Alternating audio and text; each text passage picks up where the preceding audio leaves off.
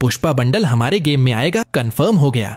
लेकिन OB forty seven update के बाद यह कैरेक्टर आने वाला है, जिसका स्किल में मूवमेंट स्पीड 100 गुना ज़्यादा कर देगा। साथ में अगर कोई एनिमी हमारे 20 मीटर के आसपास रहेगा, उसका लोकेशन हमें दिखेगा ही। पर अगर कोई एनिमी इस तरह दीवार के पीछे या किसी चीज़ के पीछे छिपेगा, हमें फिर भी साफ़ साफ़ लोकेशन दिख जाएगा। फॉलो कर लो। एक और इवेंट बताता हूँ 16 या 17 नवंबर को।